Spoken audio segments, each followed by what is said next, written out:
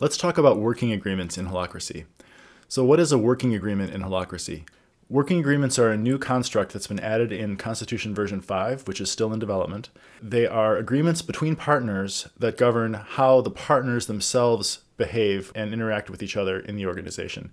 This is distinct from a policy or a domain because it governs people, not roles. Holacracy really doesn't try to address governance of people at all, but that's something that comes up a lot and a question that lots of people have.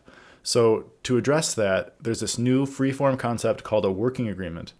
The way working agreements work is that any partner can enter into a working agreement with any other partner at any time, and any partner can rescind or revoke their agreement at any time.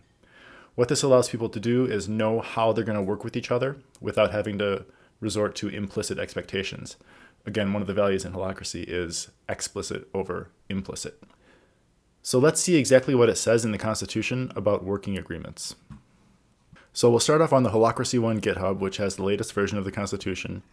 And if you scroll down under Table of Contents, Operations, here we have a new section in version 5, People in Partnership. Um, so we have two new concepts, partner relationships, which we're not going to get into, and then working agreements. The organization's partners may make working agreements about how they will interact with each other or fulfill their general functions as partners, again, distinct from roles.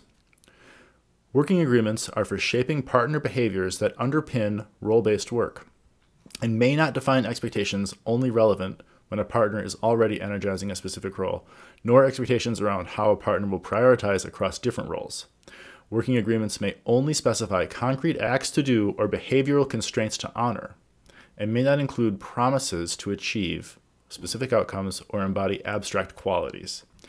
And here, I think the attention is to avoid um, putting values on people and um, to keep the working agreements really grounded in behavior, which is another thing that you see in holacracy a lot, is a focus on tangible behaviors, not the beliefs behind those behaviors. And then it says, as a partner, you have a duty to align your behavior with any working agreements you have made. A facilitator may also enforce any relevant working agreement while facilitating a circle's governance process or tactical meeting, provided they do not conflict with the prescribed process or any rule in this constitution. So that's a quick summary of working agreements, a new construct in the Holacracy Constitution version 5.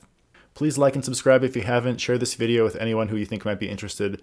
Uh, that's how I know to keep making more content, and I really love doing it. So I really appreciate your support, and let's work better together.